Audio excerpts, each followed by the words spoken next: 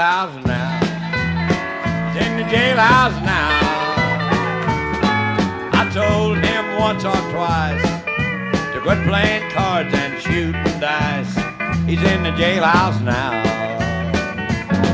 Now I had a friend named Ramblin' Bob who used to steal, gamble, and rob. He thought he was the smartest guy in town.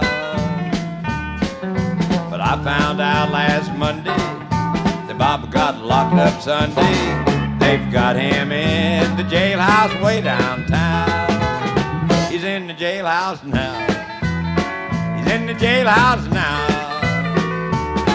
I told him once or twice to quit playing cards and shooting dice. He's in the jailhouse now. I hear Pete Mitchell,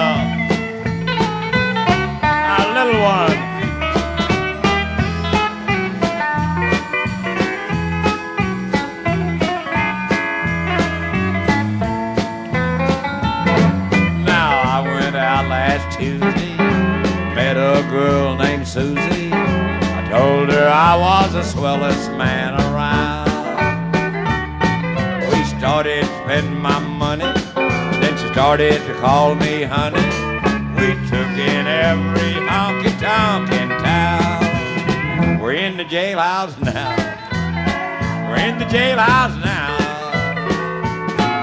I told the judge right to his face, we didn't like to see this place.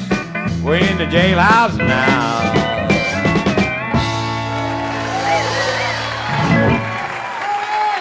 Thank you. Thank you all very much. I feel, I feel sure that most of you recognize the old, the old Jimmie Rodgers favorite there that I've been singing on the Grand Ole Opry for many, many years. It's still one of my special favorite Jimmie Rodgers songs. Of course, I love all of them. He's always been my idol and my inspiration. He's still the greatest of all, no matter who you talk about. He was the greatest. Well, we're always proud to have a few requests for that special one of Jimmy's there. Here's a song, though, I'm going to sing for you that I would probably sing if I never had a request for it, because this song is about my home state of Texas. That's all right. Junior Pineda and, and Randy back there on the drums. Of course, they're on my side. But old Ronnie is from South Carolina, and, and old Lynn Owsley from Alabama, and Pete Mitchell here, this little skinny guitar, I mean, little, little slender guitar picker here. Pete Mitchell, he's our draft dodger from Canada. You know, old Pete pulled a switch on him. He left Canada to get out of the draft, and look what a mess we got him in. Now he wants to go home. We won't let him go back.